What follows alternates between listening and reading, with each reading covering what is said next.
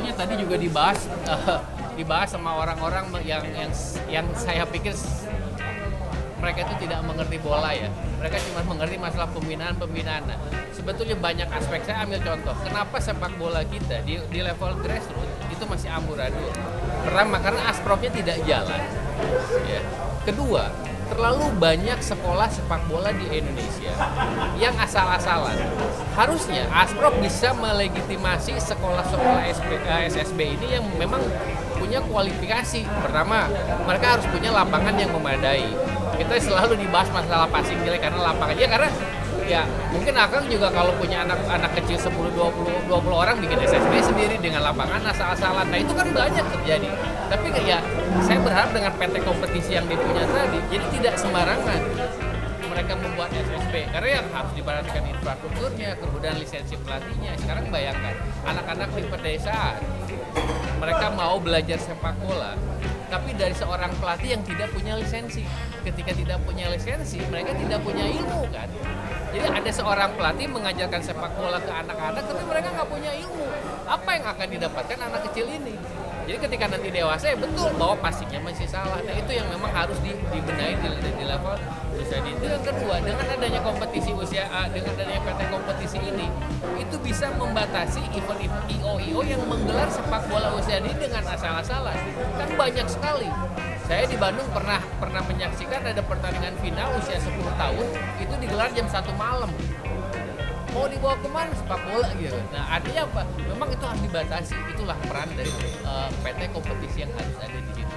Dengan adanya PT kompetisi itu kan jadi profit.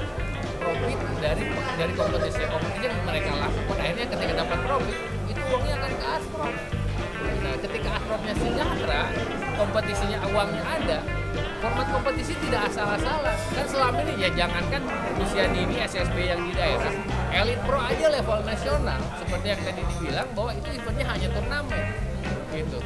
Event turnamen ya kita kita pakai logika lah Eva usia 10, uh, eh, usia 14, 16, 18, 20 sistemnya turnamen. Biasanya satu grup itu 4 tiga kali main. Iya kalau pemain inti kan kalau pemain cadangan dia cuma main di pertandingan terakhir cuma mainnya 10 menit. Anda bayangkan ada seorang pemain pengen jadi pemain nasional tapi setahun sekali dan mainnya cuma 10 menit kurang terbang iya dong gitu. Nah tapi di sisi lain kenapa PSSI tidak tidak bisa menjalankan dengan konsep liga? Mungkin balik lagi ke masalah pendanaan. Nah sekarang pertanyaan saya saya swasta. Saya tidak punya figur siapa pun di atas saya. Saya hanya door to door kepada para sponsor bisa menghasilkan uang bisa. Saya menggelar kompetisi amatir dengan enam bulan dengan sponsor. Artinya apa? Kalau event sekelas saya aja bisa harusnya orang-orang di PSSI bisa. Kalau mereka nggak bisa ya udah turun saya gantiin. Gitu kasarnya kan gitu. Nah itulah gambarannya selama terakhir kan kan tadi pembinaan uh, di daerah-daerah memang akan berjalan. Lebih kalau pengurus pusat juga benar. Tadi mengutip dari perkataan Batman Pak pengurus PSSI sekarang tuh malah kebalik. 70 persennya politik 30 persennya malah uh, sepak bola gimana bang?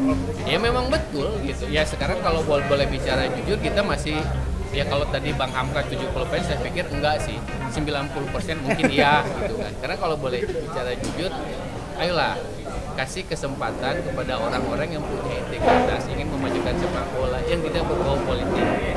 Saya tanya, kenapa liga saya bisa on schedule 6 bulan 6 bulan? Kenapa liga saya bisa jalan? Kenapa liga saya bisa viral? Karena saya tidak punya kepentingan politik apa-apa. Gitu. Saya itu jadi sebagai seorang operator liga, saya tidak punya kepentingan untuk yang jadi juara. Itu siapa? Nggak peduli buat saya. Mau tim A tim B tim C yang juara silakan silakan. Tugas saya adalah bagaimana menjalankan kompetisi bisa selesai bisa sukses bisa lancar dan semua tim bisa happy. Gitu. Itu harapannya gitu. Jadi nah kalau bagaimana yang memang harus menyingkirkan dari unsur politik tadi. Itu yang harus paling penting. Nah apakah kita bisa lepas satu tahun dua tahun itu khusus enggak. Kita tetap berproses pertama jangan ada orang-orang klub di Esko itu harus karena kalau ada orang klub nanti ketua umumnya jadi beban. Saya mau saksi tim ini ternyata Esko-nya ini. Wah ribet lah. Itu jam. Makanya kalau misalkan saya dikasih kesempatan walaupun kemungkinan cuma satu persen lah. Ada yang milih juga buat saya syukur tapi itu tidak jadi masalah. Tapi kalau saya jadi di situ saya sikat semua itu.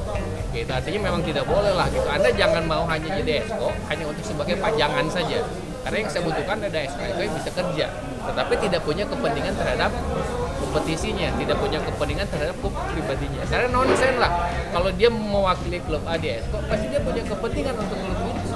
Itu ketika mau disanksi ada ada negosiasi, ada apa itu, itu yang tidak benar. Jadi memang regulasi yang memang harus ditegakkan dengan dengan benar. Kuncinya apa? Operatornya netral. Siap, siap. Makasih. Makasih. Siap, sama-sama.